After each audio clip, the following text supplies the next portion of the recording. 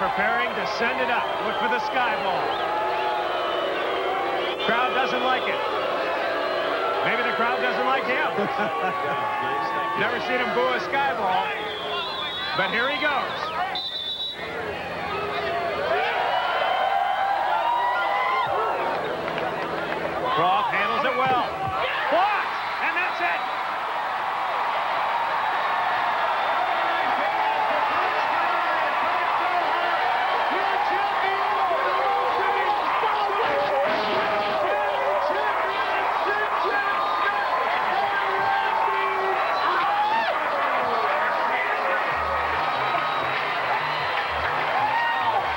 Smith and Stoklos come into enemy territory. Stokey dominates at the net. And Chris, they have done it. Smith Stoklos, the Kings of the Beach for the third straight year. This year they also are the Kings of the Bank.